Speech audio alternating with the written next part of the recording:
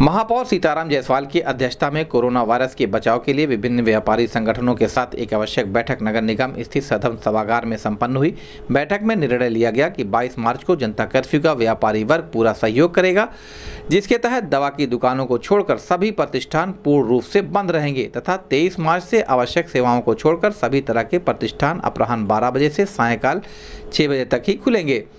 नगर आयुक्त अंजनी कुमार सिंह द्वारा बताया गया कि महानगर के तीन बड़ी गाड़ियों के माध्यम से सोडियम हाइड्रोक्लोराइड का घोल बनाकर छिड़काव किया जा रहा है। नगर निगम गोरखपुर पूर्ण रूप से मुस्तैद है। आप सभी का सहयोग अपेक्षित है, जिससे इस बीमारी को महानगर में फैलने से रोका जा सके। नगर निगम गोरखपुर द्वारा कंट्रोल रूम स्थापित किया गया है, जिसका नंबर है seven three one one one eight zero three nine zero. Zero double five one double two double zero four five zero D zero double five one two three four two six two one है, जिस पर corona से संबंधित शिकायत पूर्वाहन दस बजे से सायकाल पाँच बजे तक दर्ज कराई जा सकती है। बैठक में महापौर सीताराम जायसवाल, नगर आयुक्त अंजनी कुमार सिंह, एडिशनल कमिश्नर शेष मणिर शर्मा, उपाध्यक्ष व्यापार कल्याण बोर्ड, उत्तर प्रदेश सरकार पुष्पदंत जैन, प्रमोद टेकड़ीवाल योगेंद्र नाथ दुबे, उमेश चंद मदेशिया, सुरेश अग्रहरी, सत्यप्रकाश सिंह मुन्ना सहित संबंधित व्यापारी संगठन के लोग मौजूद रहे। इस संबंध में गोरखपुर न्यूज़ से बात करते हुए महापौर सीताराम जायसवाल ने कहा। कुमार सिंह हूँ नगर आयोग का काम देख रहा हूँ। गाहे बेगाहे शहर में आप लोगों मुलाकात होती है। लेकिन मैं शायद नाम नहीं जानता हूँ बहुत लोगों का तो इसलिए मैं निवेदन कर रहा हूँ। कपड़े के ज़ोर से बोलो। दवा चल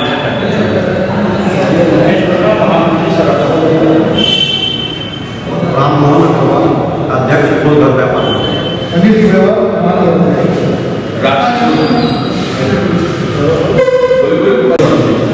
मनीष चंद्रोलिया संरक्षक चैम्बर नरेंद्र मौर्य महामंत्री गोरखपुर उद्योग व्यापार कमलेश कुमार अग्रवाल महामंत्री चैम्बर ऑफ़ ट्रेडर्स साहब हैं। नितिन कुमार जायसवाल भाजपा व्यापार प्रकोष्ठ महामंत्री। बहुत है।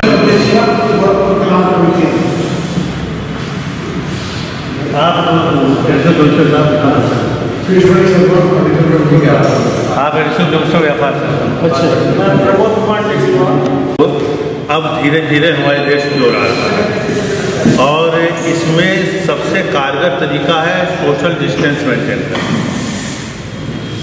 दूरी मेंटेन करना सबसे कारगर तरीका है और दूरी मेंटेन करने का सबसे सही या सबसे अच्छा ये होगा दूरी मेंटेन करने के लिए कि अधिकांश लोग घर पे रहें, बहुत ज़रूरत हो तब बाहर निकलें।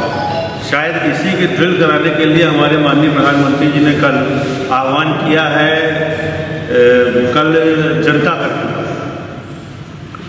आप लोगों को इसलिए आमंत्रित किया गया है कि हम, हमारे कुछ अधिकारीगण, सीनियर अधिकारीगण ये सोचते हैं, मैं भी सोचता हूँ, और सभी लोगों को सोचना चाहिए कि हर चीज़ को बहुत ज़्यादा दुष्प्रभावित किए बिना, व्यापार को ज़्यादा दुष्प्रभावित नहीं करना है, स्वास्थ्य को बिल्कुल प्रभावित नहीं करना है, स्वास्थ्य सबसे ऊपर रखना है हमें। इन सब चीज़ों पर बात करते, सोचते हुए, विचार करते हुए दुकानों की टाइमिंग परिवर्तित करने का की ज़रूरत है कि नहीं? और अगर ज़रूरत है तो हमें कौन सी टाइमिंग रखनी चाहिए? ये है उद्देश्य बैठक बुलाने का। अब आप लोगों के विचार आमंत्रित हैं। आप लोग अपने विचार रखिए कि कौन सा टाइम रखना ठीक होगा, जिससे थोड़ा सा ये संदेश जाए। संदेश जाना ज़्यादा महत्वपूर्ण है कि हम लोग इसके बारे में सचेत हैं। आइए।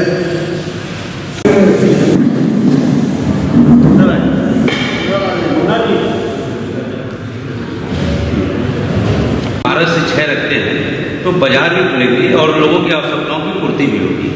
और मुझे लगता है इसी क्रम में एक बात और भी कहना चाहिए आम पब्लिक से कि अगर ज़रूरत है तो बाज़ार निकलें और अपनी आवश्यकताओं की पूर्ति करें और अगर ज़रूरत नहीं है तो वो घर पे ही बिल्कुल बिल्कुल। इससे इससे ज़्यादा कोई सुरक्षा का व्यवस्था मुझे तो हम लोग कह रहे हैं।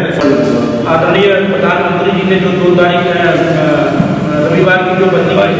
बाईस तारीख उसके अलावा हम लोगों ने अपने तरफ़ से दो दिन की बंदी और उसमें प्लस करके अपने सराफा व्यवसायियों से अनुरोध किया है कि बंदी को बाईस तेईस और चौबीस तक हम लोग पूर्ण अपनी तरफ़ से कर सकें। और पूरे सराफा मंडल में पाँच ज़िले हैं जिनको सबको हम लोग जागरूक कर रहे हैं और इस चीज़ को फॉलो करें और तीन दिन के लिए कम से कम लोग एक बैठक बना के और हम लोगों ने खैर अपने मुझे पता चला कि मार्केट में प्रेस करने पे जो निकलता है जैसे स्ट्रोक निकलता है वो खाली बॉटल मिल जाती है।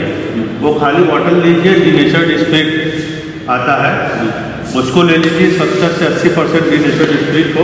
ऊपर से आप एलोवेरा जेल लीजिए आप कुछ भी मिला सकते हैं। क्योंकि दवा आवश्यक है। नहीं दवा आवश्यक तो है। रिटेल का जो है है, तो रिटेल क्योंकि उपलब्ध आप रिटेलिंग करते हैं कि नहीं? होलसेल करते हैं। नहीं होलसेल करते हैं रिटेलिंग नहीं करते। रिटेलिंग नहीं करते हमारे में रिटेल नहीं करते होलसेल रिटेल तो रिटेल की दुकानें खुली तो दवा की दुकानें तो ज़्यादा ज़्यादा अभी तो कल की भी बात है। कल सारी दुकानें बंद है लेकिन ऑल ओवर इंडिया से आया है कि होलसेल की दुकानें आपको कल बंद करा दी गई लेकिन बाकी लोगों की आवश्यकताओं को देखते हुए रिटेल की दुकान कल जो है वो आवश्यक है वो खुलनी चाहिए। रिटेल की तो तो कल रिटेल की दुकानें हम खोल रहे हैं होलसेल की दुकानें बंद क्या करता हूँ इस पर चर्चा हो तो एक अ, के हम लोग क्या करें जब ज़रूर दिनों के लिए मार्केट सही आधी दुकान है आधी दुकान है अभी आज अगर बैठा है कल चाहे कुछ दवाएँ की आज खुलेगी कल दाएँ कल खुलेगी आज तो मिलता हुआ है बॉम्बे में ऐसा बॉम्बे में आज पर अभी नहीं, यहाँ पर ग्राहक के ग्राहक आएँगे वही जो होलसेलर से लेने के माल उसमें भीड़ नहीं होगी नहीं नहीं जैसे आप छह बजे टाइम फिक्स कर रहे हैं तो ये निवेदन करें छह बजे तक बंद कर देना कि छह बजे खुला चला आप इसे खोल दें हाँ प्रशासन के माध्यम से फिर उससे दूसरा इसे थोड़ा सख्ती से पालन कराएँगे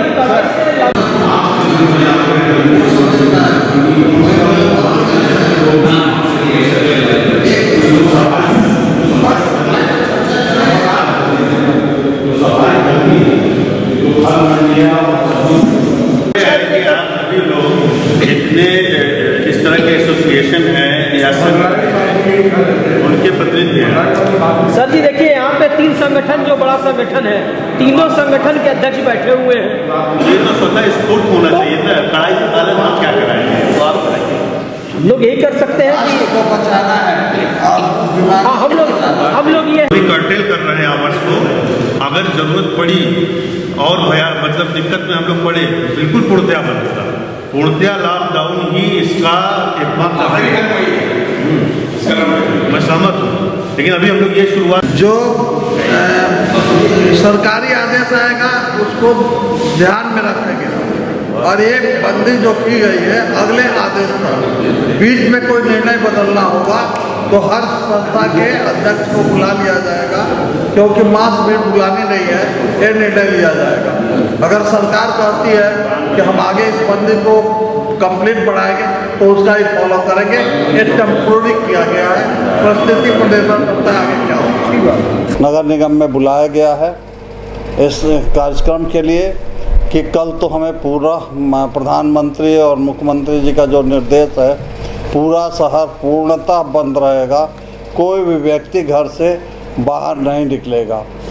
इस, इसमें आवश्यक सेवाओं को छोड़कर सभी लोग अपने घर में रहें और बाहर न निकलें और जो लोग इस विपरीत परिस्थितियों में, आवश्यक सेवाओं में काम कर रहे हैं, उनके सम्मान में पाँच बजे थाली या घंटी बना करके, बजा करके उन्हें सम्मानित करें, ये भी निर्णय किया गया है।